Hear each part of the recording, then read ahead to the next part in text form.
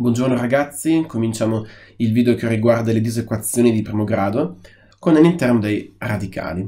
Ho fatto un video molto simile che riguardava le equazioni e infatti gli step sono molto simili a parte il terzo. Vediamo perché. Beh, come nelle equazioni bisogna portare le x a sinistra e i numeri a destra, raccogliere la x che conterrà numeri interi e anche dei radicali, Bisogna fare in questo caso grande attenzione al numero che moltiplica la x. Perché? Quando io divido a destra e a sinistra per un numero in una disequazione, devo stare attentissimo, perché se il numero che in questo caso moltiplica la x è negativo, quando lo divido a destra e a sinistra, io devo cambiare verso. Questo cosa significa? Ho preparato due casi. Nel primo caso, quello a sinistra, x raccoglie radice di 2 meno 1. Radice di 2 meno 1 è un numero positivo, perché radice di 2 fa 1,414. Quindi, quando vado a dividere di qua e di là per radice di 2 meno 1, non mi preoccupo perché essendo positivo non devo cambiare verso. Come vedete il maggiore resta maggiore. Quando invece, e guardiamo a destra, la x moltiplica radice di 2 meno radice di 3, e eh, radice di 2 è più piccolino di radice di 3. Quindi il numero radice di 2 meno radice di 3 è sicuramente un numero negativo. Quindi quando io devo dividere di qua e di là, quindi destra e sinistra, per radice di 2 meno radice di 3, posso, ma il verso cambia ed è un errore gigantesco, è il peggiore, non cambiare il verso. Quarto step, ovviamente, dopo essere stato attento al cambiamento di verso oppure no, razionalizzo. Possiamo quindi cominciare a fare eh, due eh, esercizi in cui vi faccio vedere soprattutto la pericolosità di dividere per dei numeri negativi. Cominciamo quindi con il primo esempio. Come vediamo, la prima cosa che possiamo fare è sviluppare le tonde. Allora, questo 3 moltiplica, visto che è 3 primi, moltiplica soltanto sopra, quindi diventa 3x meno 3 fratto 1 per 2, 2. Non siamo ancora al primo step perché adesso dobbiamo fare il minimo comune denominatore, quindi tutti questi sono divisi per 1.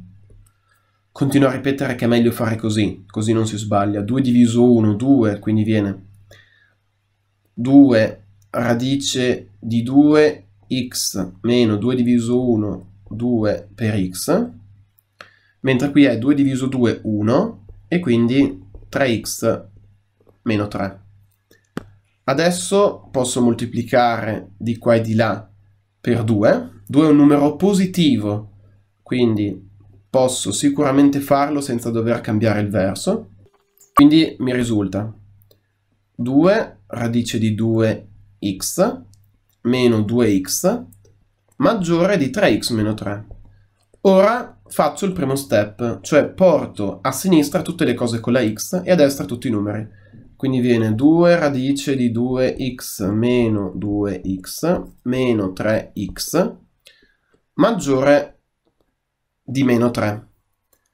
A questo punto faccio lo step 2, cioè raccolgo la x e viene 2 radice di 2 meno 2 meno 3 maggiore di meno 3 adesso mi accorgo ovviamente che questi posso sommarli tra di loro perché sono numeri interi quindi viene 2 radice di 2 meno 5 maggiore di meno 3 ora siamo al punto fondamentale in quanto devo dividere di qua e di là per 2 radice di 2 meno 5 e mi devo chiedere ma 2 radice di 2 meno 5 è un numero positivo o negativo?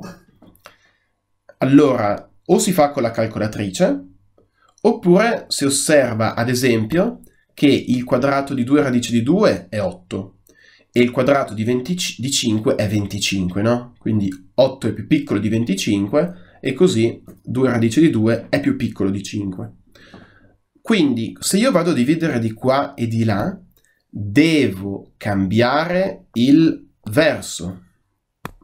Quindi viene questi qui vanno via, e quindi viene x con il verso cambiato, quindi prima c'era il maggiore, adesso c'è il minore, di meno 3 fratto 2 radice di 2 meno 5. Quindi abbiamo cambiato il verso e ora mi manca il quarto step, cioè razionalizzare. Come si fa a razionalizzare? Semplicemente moltiplico, visto che vi è una differenza per la somma, e adesso mi muovo verso destra per fare la razionalizzazione, cioè sopra ho meno 3 che moltiplica 2 radice di 2 più 5, sotto ho questa quantità che moltiplica questa quantità, quindi viene il quadrato del primo meno il quadrato del secondo. Continuiamo e abbiamo finito. Perché viene meno 3 che moltiplica 2 radice di 2 più 5. Allora il quadrato di 2 radice di 2 sarebbe il quadrato di 2 per il quadrato di radice di 2, che viene 4 per 2, infatti vi avevo detto che faceva 8, meno 25. Continuiamo, allora 8 meno 25 fa meno 17, e visto che sotto io non voglio mai dei numeri negativi, mi accorgo che posso tranquillamente cambiare segno sopra e sotto, quindi la soluzione diventa x minore di il numero che abbiamo ottenuto a destra, che se ricordo bene era 3 diciassettesimi, che moltiplica 2 radice di 2 più 5. Eccoci al secondo esercizio, che in realtà è più semplice del primo, ma potrebbe trarre in inganno per un motivo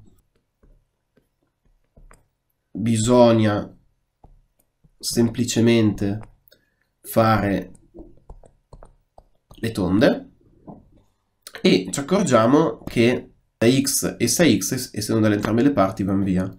Quindi viene in realtà un numero molto semplice, cioè 2 radice di 2x maggiore di meno 15. Ora, ovviamente quando c'è soltanto un numero, eh, cosa vuol dire raccogliere? Posso anche farlo. Significa che se raccolgo la x, il numero che moltiplica la x è solo questo. Facciamolo per seguire gli step. Ora io divido di qua e di là per 2 radice di 2. Ora 2 radice di 2 è assolutamente un numero positivo, quindi questo va via. E quindi risulta x maggiore di meno 15 fratto 2 radice di 2 e sarebbe finito, solo che devo razionalizzare. Ora, per razionalizzare, mi basta moltiplicare sopra e sotto per radice di 2. Perché? Perché io devo assolutamente razionalizzare, devo moltiplicare questo numero per questo numero qui. Me ne frego quindi di questo 2, perché questo 2 moltiplica un radicale e lui non è un radicale, quindi non va razionalizzato. Devo solo razionalizzare loro due. Quindi viene meno 15 sopra radice di 2, quindi ho fatto il prodotto tra i numeratori, sottoviene, allora, questo 2 che io non ho toccato sta assolutamente qui, mentre radice di 2 per radice di 2 fa un altro 2, perché radice di 2 per radice di 2 lo potete vedere in due modi, o come radice di 4, che quindi fa 2, oppure come radice di 2 alla seconda, dove la seconda e la radice vanno via, e quindi viene ancora 2. Quindi in tutti i casi viene 2. L'esercizio è finito perché questo numero quindi è uguale a meno 15 radice di 2, fratto 2 per 2, 4, e quindi posso andare a scrivere il risultato, cioè x maggiore di meno 15 quarti radice di 2.